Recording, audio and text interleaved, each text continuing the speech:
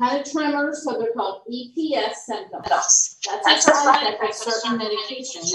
What happens when the patient takes those meds? All of a sudden, it could be two months after they started, it could be two years after they started.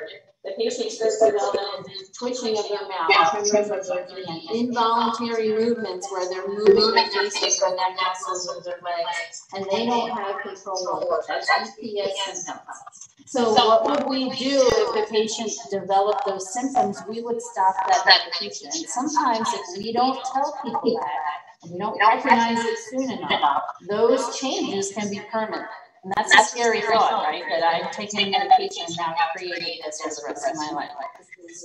Um, I was in a medication after, um, surgery. Yeah, so they still use it. It's, it's, it's a small incident. so- Yeah, right. I mean, I. But nobody ever, right, so nobody ever told you, and that, and a lot of that education is more when they're long-term, they're gonna stay on it. Um, I've had my kids, um, they have migraine headaches, and I write this into the use for the nausea, right? And now, in the last four or five years, different times they've had to go to the ER to say, hey, we're trying to get my migraine, because we found out that it did this, right?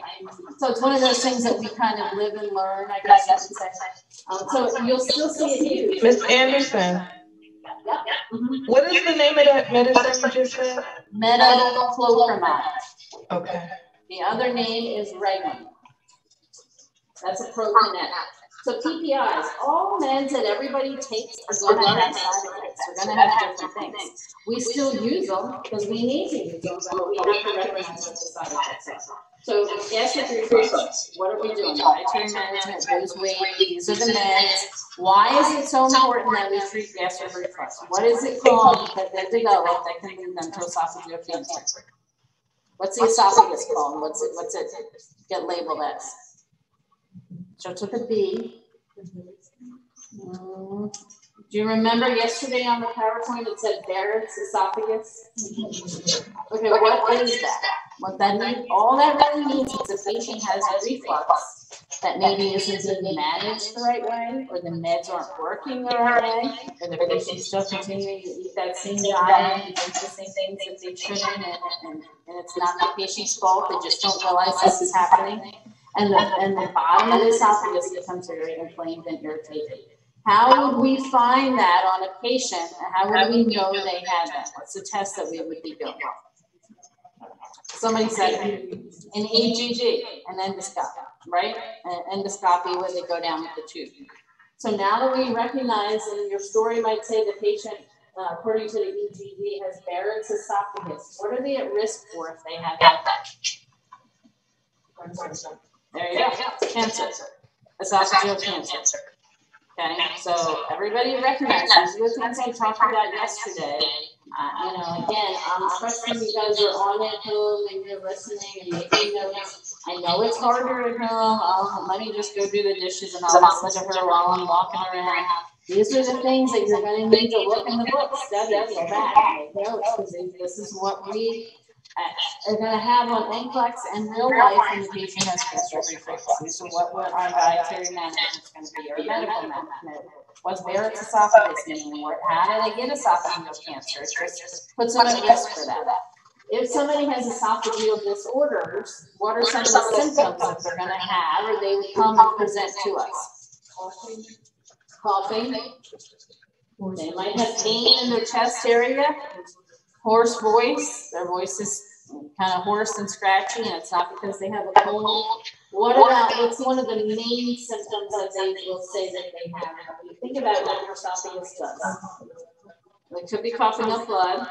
What do they have? What do they have trouble doing? Swallowing, eating.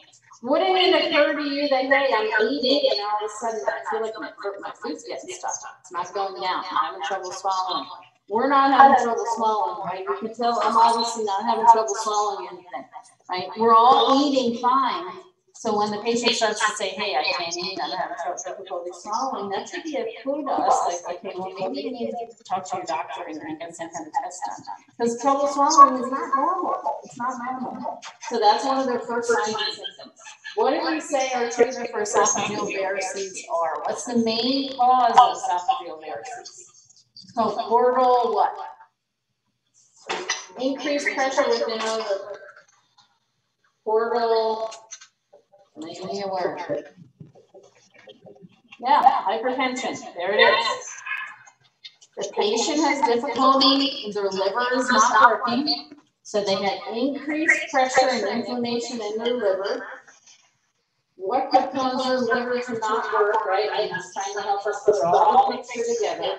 It could have cirrhosis, it could have hepatitis, it could be an alcoholic, it, it could be the viral hepatitis, or it could be anything that's damaged their liver.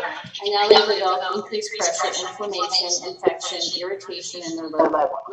Because that happens, the vessels surrounding the liver also become inflamed and irritated. Those vessels attach to our esophagus and intestine, and it creates um, inflammation and, and irritation in our esophagus. So it's kind of like it goes hand in hand because they kind of work together. So now we have um, increased pressure, likelihood of bleeding in the veins in our bottom of our esophagus. And when they start to bleed, that's called esophageal urethritis. Can someone die from that? Yes, they can. Is it a medical emergency if you're bleeding esophageal urethritis? Yes, it is. How are you going to know if you're the nurse taking care of the patient? What are they going to be doing? Throwing up blood. What's the word for throwing up blood? Hematoemesis. Write that down. That's a term that you need to look at in the chart and say, hey, I know what that means. Hematoemesis. That means the patient is throwing up blood. Would it be normal for us to throw up blood? No. If it's bright red blood, we better be thinking, what is going on here? Where are they bleeding from? What's their history? Do they have esophageal? What can we do if it's just conservative management and the varices stop? Or what if they were bleeding five days ago? Now, what's the emesis called that, that, that's like black and what, what do we term it as? Something we like to drink every day. Coffee ground emesis. What does that mean? Just means old black blood, right? If you had blood down in your esophagus from three days ago, what's it gonna look like seventy-two hours from now? It's gonna be old black and charred, like coffee. So that might be in your story, where the patient has coffee ground emesis. You should then be thinking to yourself, okay, they were bleeding from somewhere, and this bleeding isn't right now, but it could have been a day